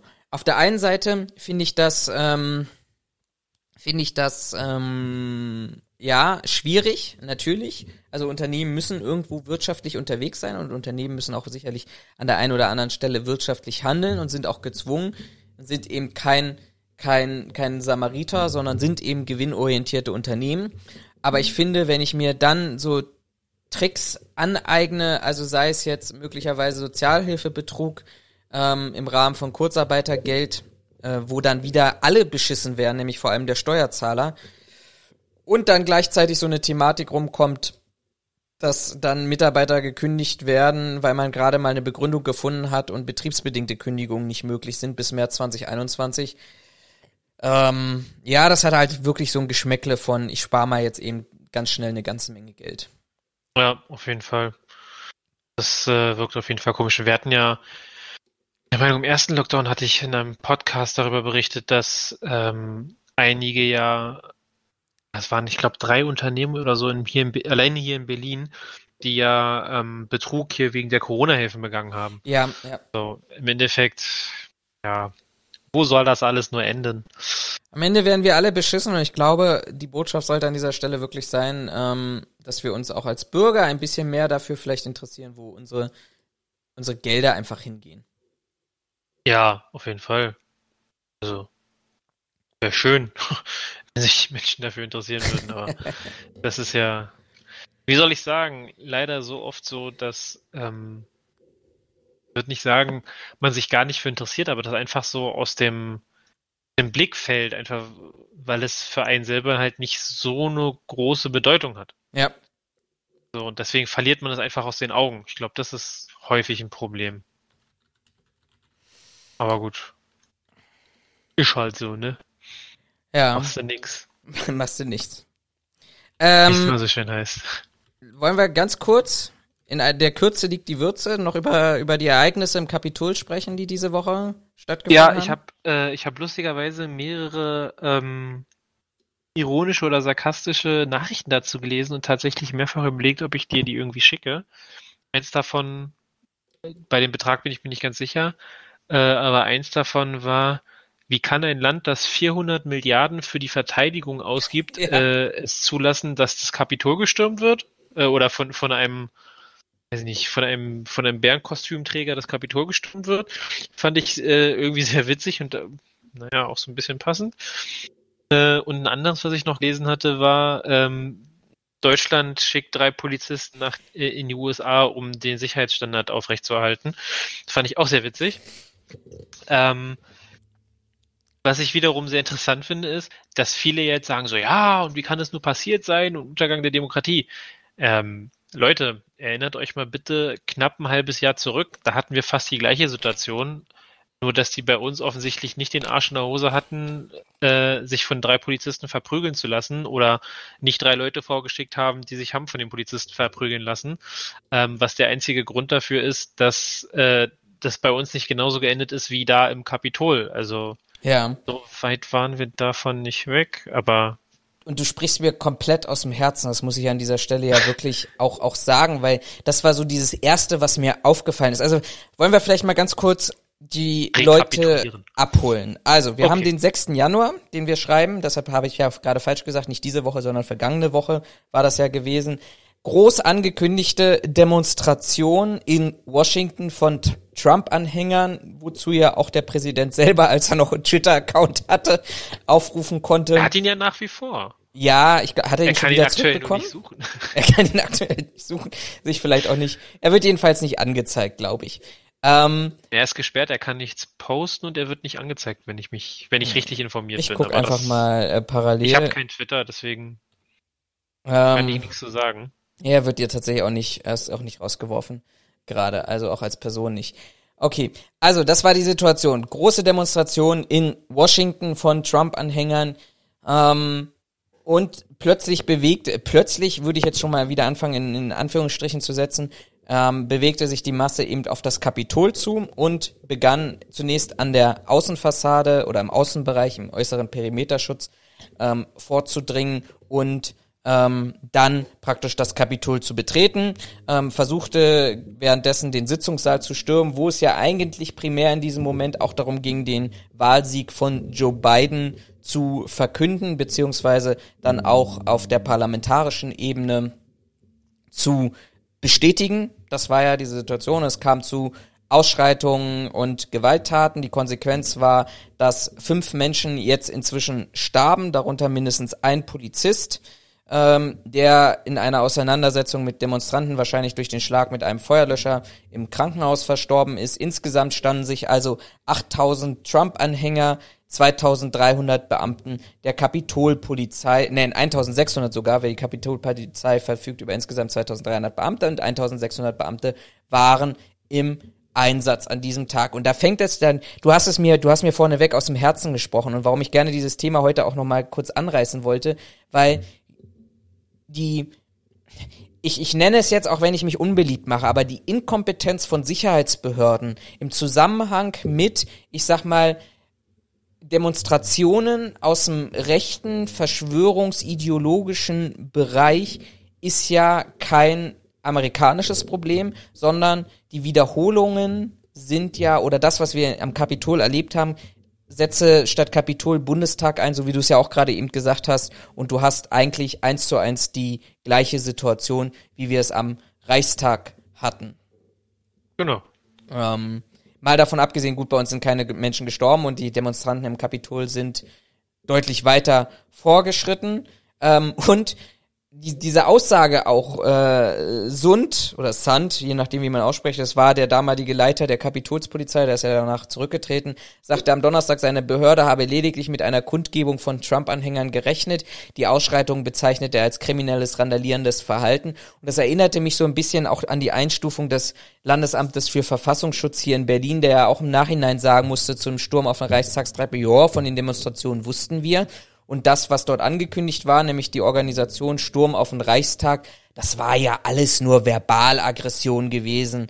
Ähm, das haben wir an dieser Stelle tatsächlich überhaupt nicht ernst genommen. Und dass das dann die Konsequenz daraus ist, ja gut, meine Güte, da, dafür können wir auch nichts. Ja, das war tatsächlich ein bisschen, also gerade hier in Berlin, das war sehr schlecht ähm, pressetechnisch äh, ausformuliert worden, sich hinzustellen, zu sagen, ja, also das war ja alles, also das haben die ja nur gesagt. Ja, genau. Das ist die erste, die, die erste Stufe von zu, ich gehe jetzt demonstrieren von, ich sag das mal weiter. Das, da haben sie sich nicht, da haben sie sich selber mit keinen Gefallen getan mit der Aussage, aber gut, sind halt alles Menschen. Ähm, kommst du nicht drum rum, aber fand ich auch tatsächlich sehr witzig. Ähm, was mich ein bisschen erschrocken hat, ich habe tatsächlich an dem Tag bis, bis knapp nach Mitternacht Livestream von Welt gelesen und mich auf Twitter rumgetrieben. Ähm, es ist tatsächlich Lügen, auch Presse, in, Lügen, ja, da, nee, deshalb bin ich ja bei Twitter und bei Telegram, um den Bogen zu unserer Diskussion von vorhin zu schlagen. Ähm, Ah, okay. Ähm, interessant, was, was mich noch ein bisschen überrascht hatte, und ich glaube, das ist ein Phänomen, mit dem wir in der Zukunft tatsächlich stärker rechnen müssen und wo wir auch die internationale Zusammenarbeit auch stärker forcieren müssen. Es hat sich in, in, in Welt, also ehemals N24, für diejenigen, die sich nicht damit äh, so beschäftigen oder keinen Fernseher mehr haben, ähm, hatte sich bei Steffen Schwarzkopf, bei dem Journalisten vor Ort, praktisch ein Demonstrant reingezwängt. Ähm, Und den hat er dann auch gleich interviewt, wie das war. Und er sagt ja eine Aussage, die, die mir wirklich irgendwie wie so ein Schauer in dem Rücken runtergelaufen ist. Und ich hoffe, das hat der ein oder andere an dieser Stelle tatsächlich noch auf dem Schirm. Der sagte nämlich, ah, Deutsch, also nach dem Motto, ich, ich zitiere jetzt nicht wortwörtlich, aber so nach dem Motto, ah, deutsches Fernsehen, naja, wir haben ja gesehen, ähm, was in Berlin passiert ist. Heute sind wir weiter als in Berlin gekommen. Und das war für mich so dieser Moment, wo ich mir dachte, ach, guck mal an. Also die Welt oder diese, diese, diese Gesellschaftsform jetzt mal nett ausgedrückt, die schauen schon aufeinander, sind, ich will jetzt nicht vielleicht nicht sagen, sie sind nicht unbedingt vernetzt, aber sie schauen schon aufeinander. Was passiert in Berlin mit dem und er hat er sich eindeutig auf auf auf auf August äh, last year bezogen, also auf die das was du ja auch gerade eben angesprochen hast, auf den Sturm der Reichstagstreppe. Ähm, das war dem schon präsent gewesen und ich glaube oder befürchte jetzt wirklich ernsthaft, dass natürlich auch diese Kräfte, und man sieht das in der ein oder anderen, zumindest wenn Screenshots aus diesen Telegram-Gruppen rumgehen, sieht man das auch in der ein oder anderen Telegram-Gruppe, dass genau diejenigen, die diesem Klientel des, des Reichstagssturms zuzuordnen sind, auch ganz genau geguckt haben, was ist denn eigentlich am Kapitol passiert und die Erkenntnisse, diese Lerneffekte, die sie dort haben, auch in ihre zukünftigen Aktionen mitzunehmen. Ich denke mal, das ist nicht ganz unrealistisch an dieser Stelle. Ähm, sag nochmal, also das, was du von dem Typen da gesagt hast, war das ein Zitat? Ja, also ich will ihn jetzt so gesagt, nicht zitieren oder? in dieser, also ich kann nee, ihn nicht zitieren, aber er, er hat es so gesagt. Er hat, er, hat, er, hat, er hat auf Berlin verwiesen. Das hatte mich tatsächlich an dieser Stelle echt etwas überrascht gehabt. Und ähm, das ging schon in, in den deutlichen Vergleich hinein, was hat ähm, man im August 2020 am Bundestag erreicht und wie weit sind ähm, die die ähm, Leute jetzt die Trump-Anhänger am Kapitol gekommen? Ähm, also ich würde behaupten, meine Vermutung oder meine Aussage ist recht recht bis sehr vermessen. Ähm, die Frage, die sich mir an der Stelle stellt, was haben ähm, was haben Amerikaner vielleicht für ihren Sturm aufs Kapitol von uns mitgenommen, um da reinzukommen. Äh, wie gesagt, ist sehr vermessen. Ich glaube nicht, dass die Amerikaner sich unbedingt in der Hinsicht was von den Deutschen abgucken. Ähm, wobei wir ja eindeutig vorher. Ähm, Diesmal waren wir die Ersten. Waren wir die Ersten, ja, super. Ähm, was mir noch gerade so ein, oder was mir gerade noch so durch den Kopf ging, als du gesprochen hast, ähm, Du hast gesagt, die haben 5000 Kapitolpolizisten? Nee, äh, Kapitol? Warte, warte, warte, warte, warte. Lies doch selber im Plan. 2300 und 1600 Beamte waren im Einsatz gewesen. Okay, 1600 Leute. Und 8000. Gegen, gegen 8000 Demonstranten. Da kannst du eigentlich froh sein, dass sie sich nicht alle hart über den Haufen geschossen haben. Ja, das war ja so ein bisschen die Befürchtung, weil es wurden ja an diesem Abend, darüber hat ja nachhinein kaum noch einer mehr gesprochen, aber es hat ja an diesem Abend ja auch keine, das sind ja an diesem Abend ja auch ähm, Sprengsätze gefunden worden an diversen Gebäuden. Jetzt überlege ich jetzt mal gerade, wir hatten in Berlin hatten wir 3000 Beamte, die roundabout, glaube ich, nachher 20.000 Demonstranten gegenüber standen. Also hier haben wir ungefähr ein Verhältnis von 1 zu 4, 3000 zu 20 ungefähr ein Verhältnis von 1 zu 3. Ähm, also auch die Machtverhältnisse sind sehr, sehr ähnlich finde ich. Äh, ja, wie gesagt, also ich finde es ich find's halt krass. Ähm, die Amerikaner oder das amerikanische Volk ist ja bei uns klischeehaft nicht gerade dafür bekannt, dass die, was ihre Waffen angeht, äh, angeht äh, davon nicht Gebrauch macht. Mhm. So. Und wenn du hörst, dass da sich äh, 1600 und 8000 Leute gegenüberstehen, dann bin ich, also ohne jetzt die genauen äh, Rechtsverhältnisse in Amerika zu kennen, ich denke mal, in Washington wird es auch nicht, also würde ich jetzt behaupten, ist jetzt auch kein Staat, wo du die Waffe frei rum, mit dem Ding frei rumlaufen kannst. Zumindest nicht ohne weiteres. Ähm, wie gesagt, ich bin der Meinung, da kannst du froh sein, dass die Beamten nicht die Demonstranten einfach über den Haufen geschossen haben. Ähm, äh, und da quasi ein zweites Fort das? Port Alamo draus gemacht haben. Dankeschön. Bitte. Äh, wobei, da waren es ja nicht die Amerikaner, da waren es die Mexikaner. Ähm, Also finde ich das schon echt bemerkenswert, aber wie gesagt, ich finde das schon, es nimmt beängstigende Züge an, dass wir das hier in Berlin quasi schon erlebt haben und das in Amerika jetzt auch passiert und da sogar mit deutlich besserem Erfolg als bei uns. Wobei ich finde, dass man ja auch gegenüberstellen muss, die haben 1600 Beamte, die sich um das Kapitol kümmern. Ja. Also rein Kapitol und die Zahl, die du genannt hattest, das waren ja alle Polizisten, die für diese drei, Demonst drei oder vier Demonstrationen, die stattfanden, waren ja die Eingesetzten. Also das ist ja nicht die reine Polizei, die im Reichstag eingesetzt ist. Ja, ich guck, genau, das war ja die für die Außenhautabsicherung. Genau, ich versuche mal gerade parallel, während du Weißt du, erzählst. nämlich der, Bundes, der Bundestag hat ja eine sogenannte Bundestagspolizei. Ähm, die sind nur für den Bundestag zuständig, wobei das auch nicht so einfach ist aufgrund der rechtlichen Lage. Die haben da eigentlich keine Hoheit oder sowas. Also das ist so ein bisschen besserer angezogener Sicherheitsdienst, um das so ganz böse zu sagen. Genau kriege ich die kriege ich die Verwurschtelung aber nicht mehr auseinander. Aber die die eigentlich reine Reichstagspolizei oder nicht Reichstagspolizei, die reine Bundestagspolizei heißt die.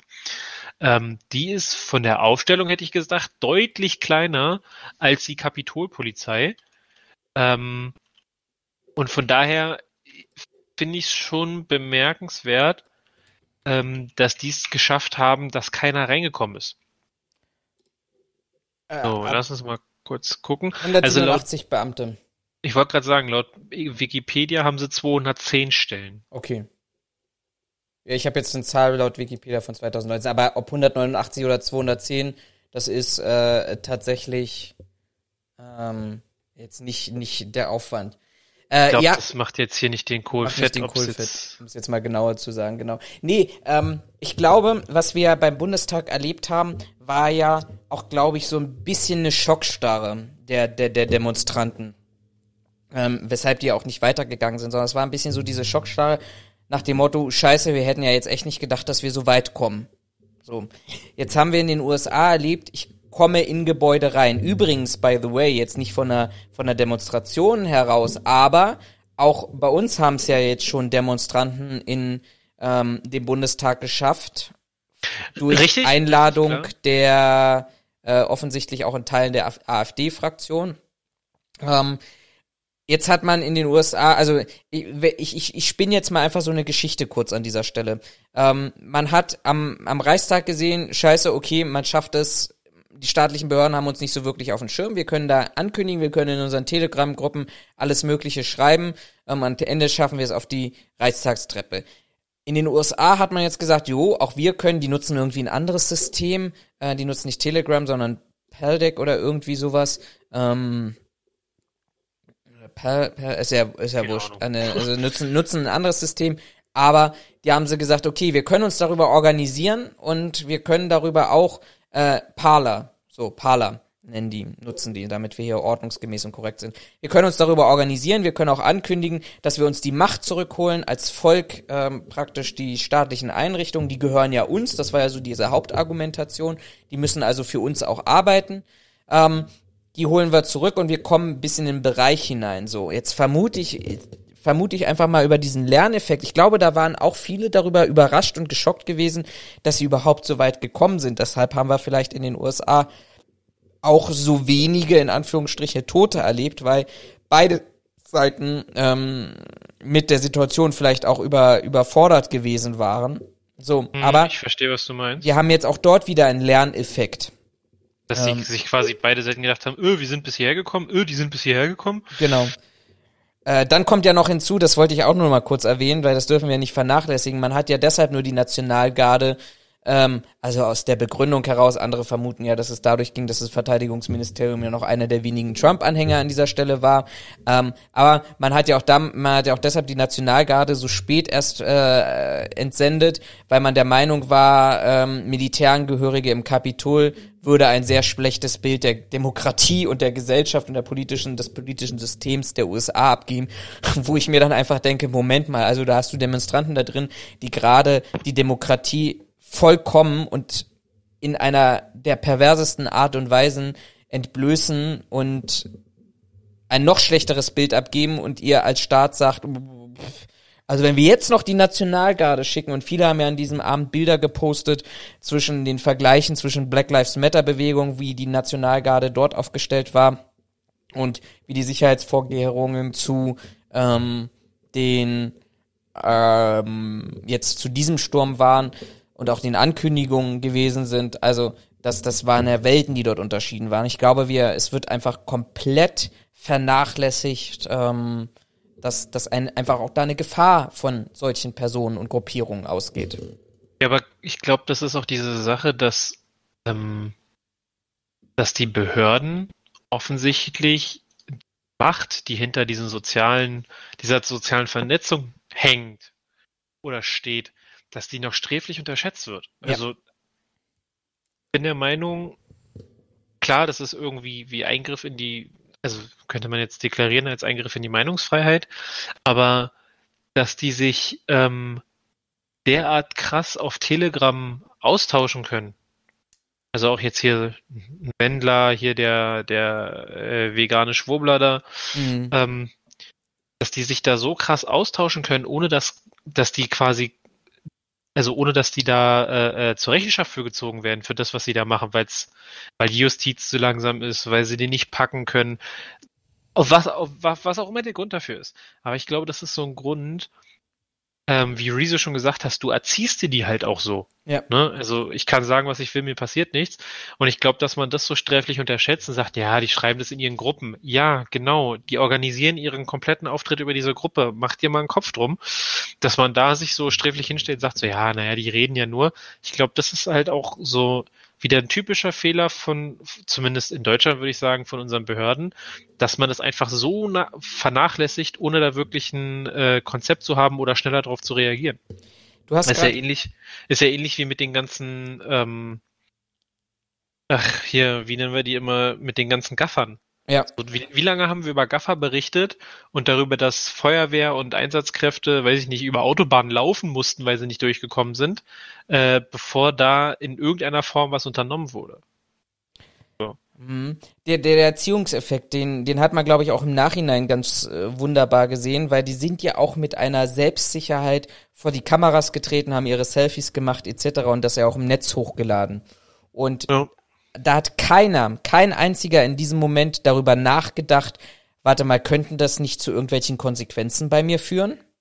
Also, ähm, wenn ich da jetzt plötzlich auftauche mit, das, das, das war ja, also man darf ja eigentlich nicht lachen, aber dieser Typ, der dieses, dieses Stehpult von der, ich weiß gar nicht, Senatsvorsitzenden da rausgetragen hat und dann noch schön in die Kamera gewunken hat und so äh, gegrinst hat, dass, dass die sich nachher alle darüber wundern und überrascht sind, dass plötzlich das FBI an der Tür klopft.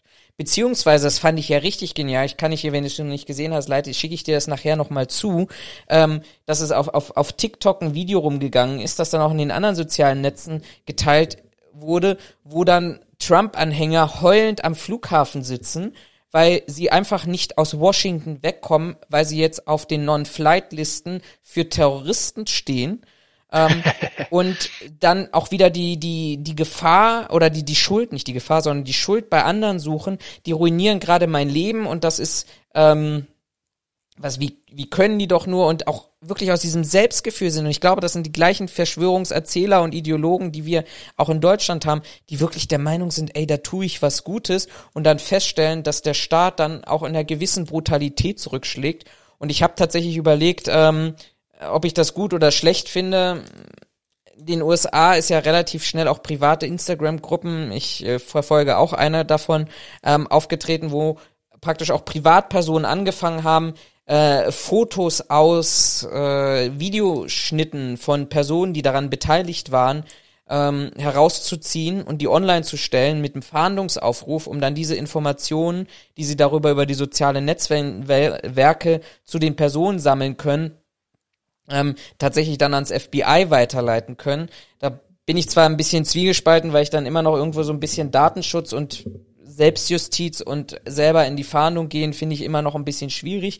Aber das einfach von diesem, von diesem Gedanken her, dass keiner damit gerechnet hat, dass das, dass das passiert, dass wenn ich mich filme und streame, dass irgendwann meine, meine Fotos dann auch irgendwie auftauchen. Also es muss ja auch so ein gewisser Rausch in dieser Situation gewesen sein, zu sagen, ich beteilige mich daran, ohne drüber nachzudenken, was mir daraus dann in der Zukunft passiert. Total faszinierend, auch aus einer psychologischen Perspektive. Ja, ich glaube, dass, also auf der einen Seite, ich finde es witzig und auch irgendwie gerecht, dass dann einige auf der Non-Flight-Liste standen. Finde ich, also sich irgendwo hinzustellen sagen so, ja, und jetzt machen wir alles, ach scheiße, hat nicht funktioniert, und ich fahre wieder nach Hause, finde ich eine geile Konsequenz. So einfach zu zeigen, so, ey, wenn du dich scheiße oder falsch verhältst und ich, also ich habe nichts gegen Demonstranten und Demonstrieren, aber das ging einfach einen Schritt zu weit.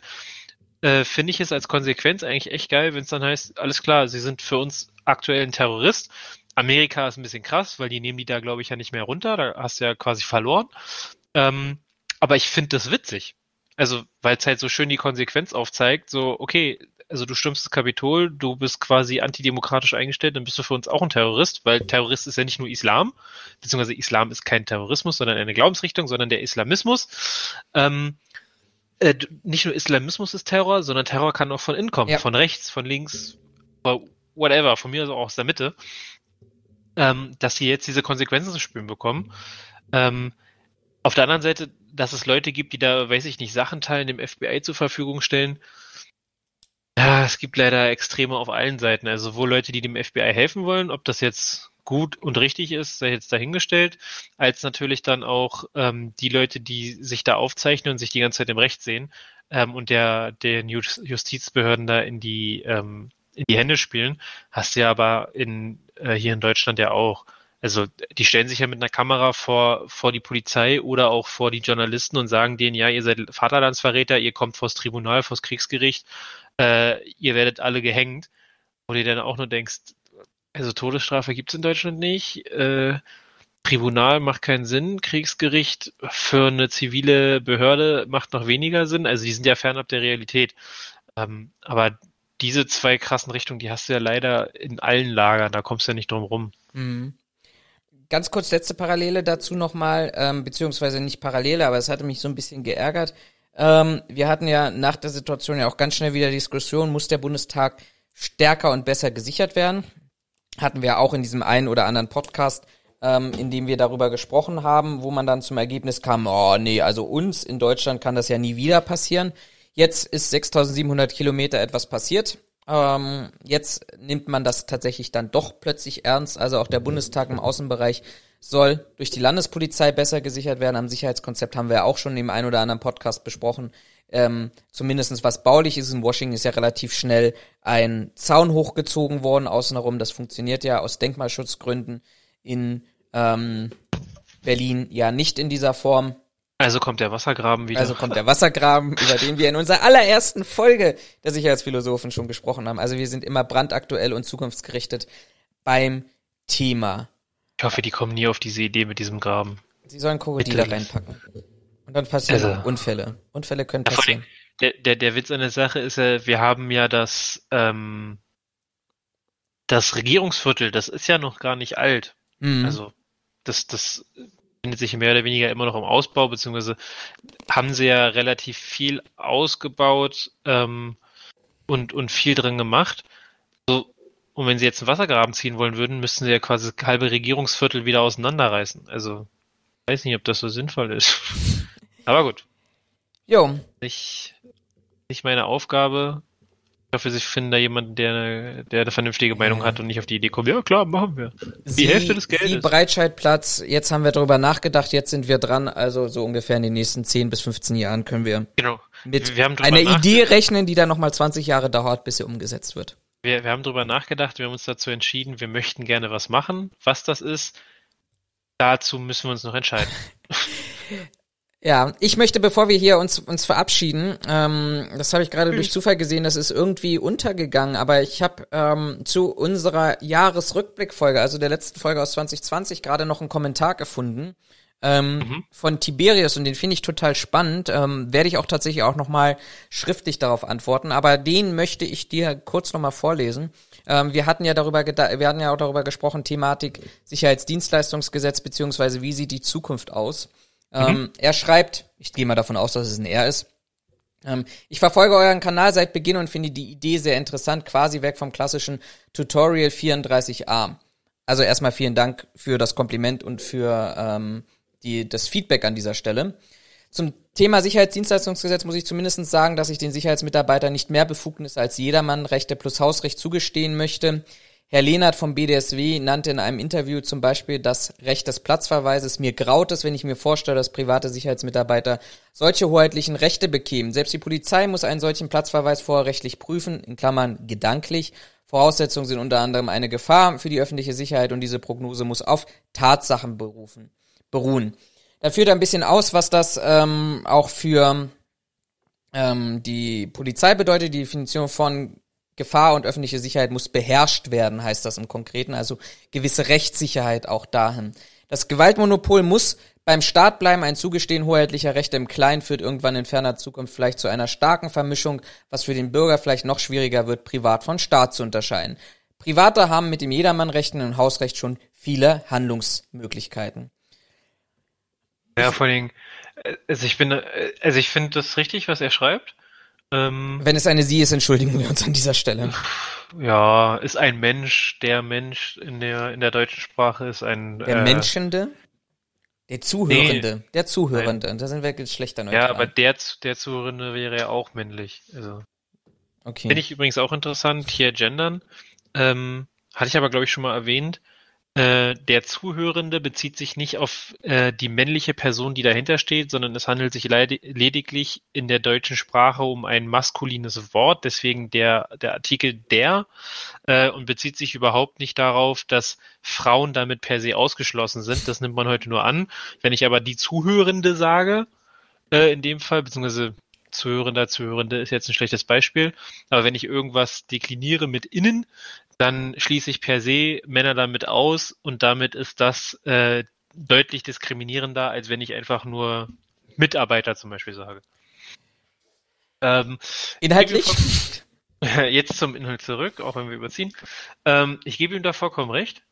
Äh, ich finde die Überlegung, die jetzt bei mir einfach aufkam, ähm, Sicherheitsdiensten das hoheitliche Recht des Platzverweises zu erteilen, ähm, finde ich auch echt schwer. Für mich, in meinen Augen, hat es dann auch wieder sowas von, ähm, von, ja, ich mag dich nicht, du hast jetzt einen Platzverweis, du musst jetzt gehen.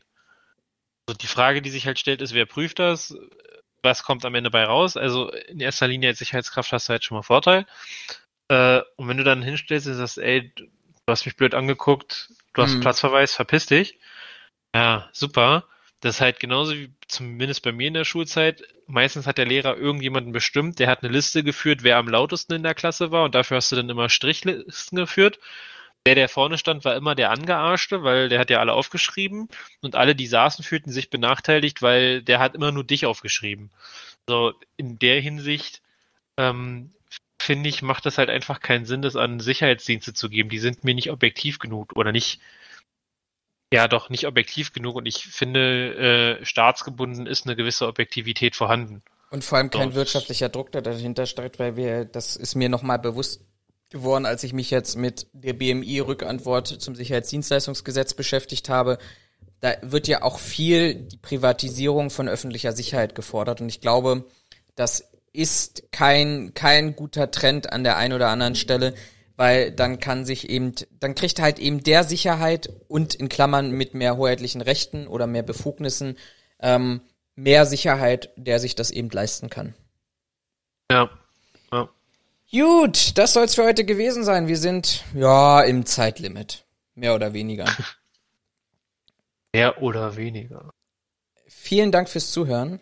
Ähm, ja, schönen Abend. Äh, lasst euch nicht äh, vom Sturm, vom Gewitter. Also wir hatten gerade Gewitter hier. Ich weiß nicht, ob das. Ja, bei mir nicht. Also ich habe auch gelesen, schon. das Gewitter trendet gerade total auf Twitter, aber äh, Lasst euch nicht wegwehen, bleibt gesund vor allen Dingen. Noch ist das ja nicht überstanden. Genau, ähm, haltet euch an die Regeln. Genau. Bleibt zu Hause, stürmt nichts und niemanden. Schönen, schönen Tag, schönen Abend, schöne Woche, je nachdem. Und, und wir hören uns dann so in zwei, zwei Wochen. Wochen. Genau. Alles klar. Bis dann, Bis macht's denn. gut. ciao. ciao. ciao.